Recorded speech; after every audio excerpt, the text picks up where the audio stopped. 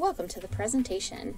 Because there are a variety of saws at Jefferson, please ensure that when you're calling down to SPCC, you are asking for the Cardiac Stryker Power 7 sternal saw, and you want to make sure this is complete.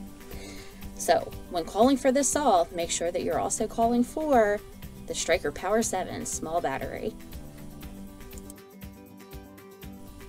Now this tray is only considered complete if it comes with two items.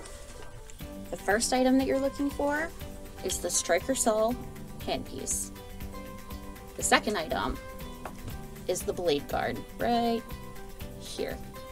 Without these two items, this tray is unusable. Now let's go over the safety features on the Stryker sternal saw. You're going to see two different arrows on either side. In the middle of those arrows, you'll find a button. When the button lies in a completely neutral position, not pushed to either side, this is your safety. You can tell when you try to depress the trigger, it is unable to go anywhere. If it is pushed to the side in any way, the safety feature will allow you to push the button on the trigger. So the other components needed for assembly of the Stryker Power 7 is the small battery, and you will also be using the Stryker sternum blade, which looks exactly like this. So to begin assembly, you want to first insert the battery. Just kidding, absolutely not. The battery will never be the first step in assembly.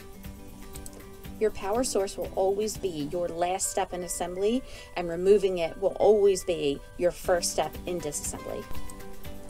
Assembly actually begins with ensuring that the safety mechanism is on.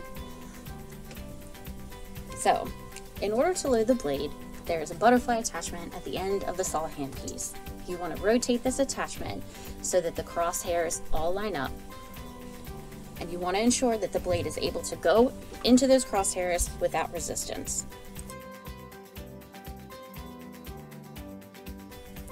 Remember, when it comes to loading the blade, you are loading the saw blade up or down, never side to side. The blade guard is absolutely necessary for the functionality of this saw. In order to load it, there is a second twisting mechanism. You are going to twist and ensure that the blade guard is seated firmly in place, release the twisting mechanism, and always check that this is secure by pulling on the blunt end side of the blade. Please remember, if you load the blade guard the other way, where it's covering the serrated edge of the saw blade, you will be cutting nothing. The last step in assembly is loading the battery.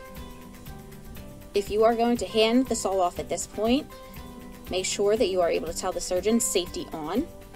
In an emergency situation, you will have to test the blade beforehand and hand the surgeon a live blade. Make sure you're telling the surgeon which way the saw blade is loaded, blade up or blade down, or if the safety is on or off.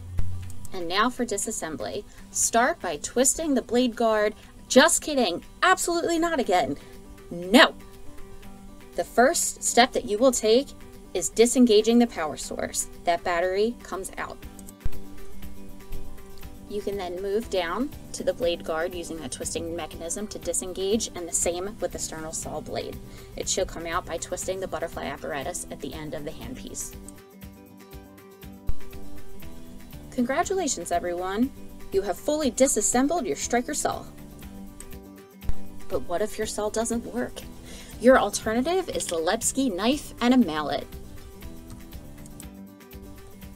These can be found on every general emergency cart, and they are also stocked in the ER In an absolute emergency when no saw is available, this Lebsky knife and a mallet are what you are going to use to help crack the sternum and open the chest. There are three components of the Lebsky knife that you should know. The first part is the handle. This is the top portion of the knife. This is the area that is held by the surgeon. At the very bottom of this knife is a notch. This is what the surgeon will use to place underneath of the sternum. Then lastly, on the opposite side of the blade is the flat portion. This is known as the strike pad. This is what the surgeon will use to hit with the mallet.